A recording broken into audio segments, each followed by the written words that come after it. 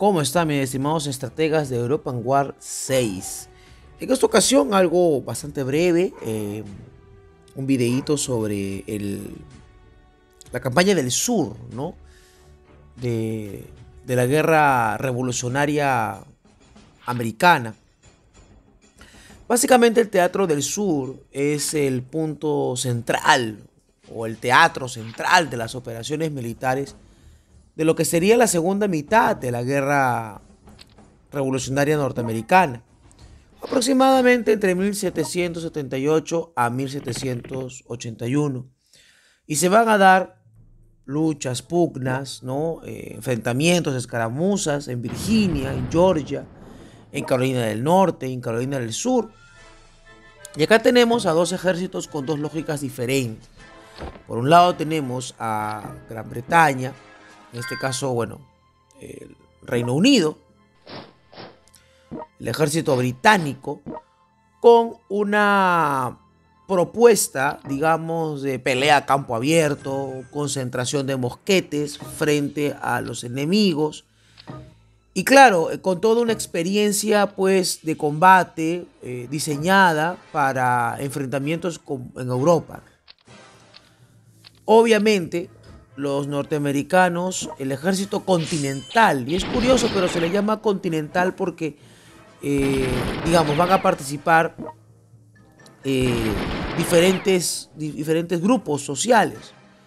En este ejército continental, en su momento franceses, en su momento indios, en su momento pues eh, personas, hombres y milicias leales también, que van a luego pasar al ejército regular.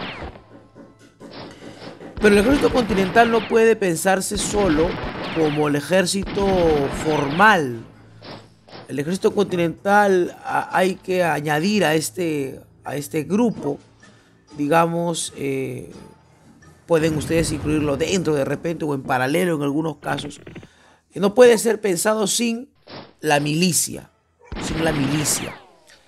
Y la lógica de la milicia es luchar detrás de los árboles, luchar eh, escondidos en el bosque, luchar con escaramuzas, hostigando a los rivales, em, y evitando el enfrentamiento a, campo abierto.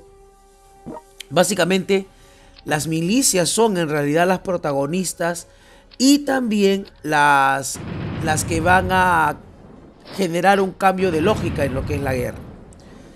Eh, estaba revisando algunos, algunos videos en donde se comentaba de que el norteamericano, el, habitante, el colono que habita en estas zonas, se enfrenta a los, a los indios. Y en su enfrentamiento eh, nunca tuvo pues una experiencia de pelea, a gran escala en campo abierto. Había que pelearse con los, con los indios en los bosques, había que pelearse cerca, cerca de los ríos, y los indios no formaban, digamos, grandes contingentes en campo abierto porque no, tenía lógica para ellos. Y esta experiencia eh, van a aprenderla para enfrentar al ejército británico. Que al comienzo, que al comienzo eh, intentó pelear, digamos, eh, bajo las formalidades propias de un ejército regular. el gran fracaso que se dio en el norte con la campaña de Saratoga, lo lleva pues a intentar subyugar a las colonias del sur. Pero ahí se va a encontrar pues con una fuerza continental eh, organizada, eh, distribuida, ¿no? Eh, tanto en un ejército regular, pero también la proliferación de diferentes milicias. Hay que añadir que también hay milicias leales a la corona británica, al imperio británico, eh, y que va a haber un conflicto también entre milicias, conflictos fuertes, conflictos que llevaron al incendio de aldeas de uno u otro lado.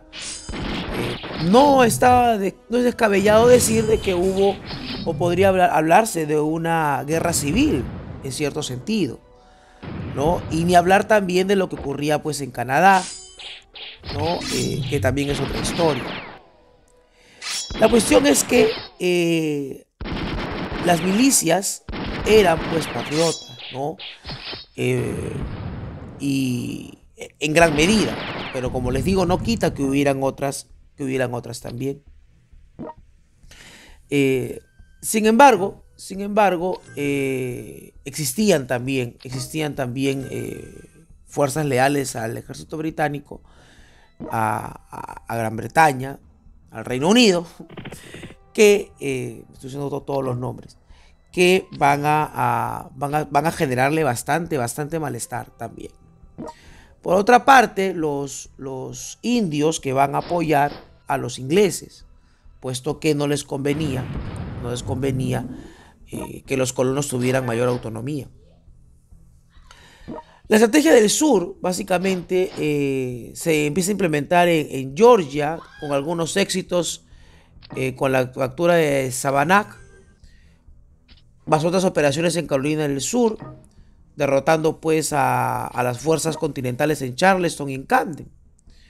¿No? Pero aquí viene la presencia de Francia, que decide apoyar abiertamente a Estados Unidos en 1778, y España en 1779, declarándole la guerra a Gran Bretaña en apoyo pues de los norteamericanos. España va a capturar el oeste de Florida británico que culmina con el asedio de Pensacola en 1781. Y Francia tuvo un apoyo naval, pero luego ya va a tener, va a tener un número de soldados que se van a unir ya al ejército del general George Washington y va a marchar a Virginia desde Nueva York. Entonces estamos viendo ahí que eh, el enemigo de mis enemigos es mi amigo. Así que Estados Unidos no pelea solo. Curiosamente, 1781 es una fecha interesante porque mientras España está apoyando un proceso independentista, la represión a Tupac Amaru II y después a Tupac Katari en, sus propias colonias va a ser brutal. Es una cuestión bastante paradójica, digna de analizar. La cuestión es eh, que la guerra pasó de la guerra de movimientos a guerra de desgaste. Desgastar al ejército británico que tenía victorias, pero cada victoria le costaba eh, bastante. ¿no? Le costaba un desgaste y obviamente sus recursos estaban lejos, era mucho más complicado. Y va a ocasionar pues que el ejército continental, eh, digamos, eh, no se desgastara porque las milicias eran las que peleaban. Eh, hay también, obviamente, progresivamente ya, también van aprendiendo a luchar a campo abierto las tropas norteamericanas. la batalla de Ransom Mill, de Copenhague, la batalla de Kings Mountain, ¿no? Van debilitando las fuerzas británicas también. Y finalmente, pues el asedio de Yorktown, en la que se rinde Charles Cornwallis el 19 de octubre de 1781. Iba a ser la última gran batalla revolucionaria, pues no. Ya de ahí se dan las negociaciones. Y las negociaciones se dan por un sentido pragmático. De todas maneras, que si ganaba, ¿qué se ganaba? Era la pregunta. Suponiendo que se ganara, ¿qué se ganaba en todo ese proceso? Se ganaba un, grupo de colonos resentidos, ¿no? Eh, una larga situación de control y, erradicación de repente de los grupos, de los grupos eh, que querían la independencia. Entonces, eh, el imperio británico siempre ha sido muy pragmático y en su pragmatismo dijo, bueno, pues no podemos continuar con esto, básicamente. Pero, o sea, entender la lección eh, tampoco fue que fue de un momento a otro. Eh, se ha señalado que sí, la guerra fue brutal en ambos bandos. Por un lado, las fuerzas del ejército continental con las milicias, las milicias son las que se movieron. Por otro lado, también las milicias del, lado leal al imperio británico. Ambas, ambas, digamos, tuvieron momentos crueles y brutales. Y los indios jugando pues a favor de un lado o de otro también. Y esta situación, digamos, fue también a la larga dañina para los mismos indios, ¿no? Porque ya sea que apoyaran a uno u otro, iban a estar en pérdida de no, de no tener una perspectiva de repente más, más realista de la situación. No, no, no, no, pensaron en su momento ver a una, a, un, a una Europa, digamos, que, que, que, empezaba a relacionarse con lo que serían ya las colonias independientes, ¿no? los Estados Unidos de Norteamérica, y que luego Estados Unidos de Norteamérica desee expandirse. Pues, o sea, era, era natural, pero ellos no lo, no lo observaron en ese momento. De hecho, de hecho, siempre jugaron al mejor postor y los mismos grupos indios van a apoyar a uno u otro bando, a uno u otro estado. La guerra civil también fue algo similar. Hasta que ya unificado Estados Unidos, consolidado, va a avanzar ¿no? a conquistar el, oeste. Y bueno, ya lo demás se conoce con las guerras que se dieron entre ellos. Pero estamos adelantándonos. ¿no? Me quedo ahí con, con la campaña del sur entonces.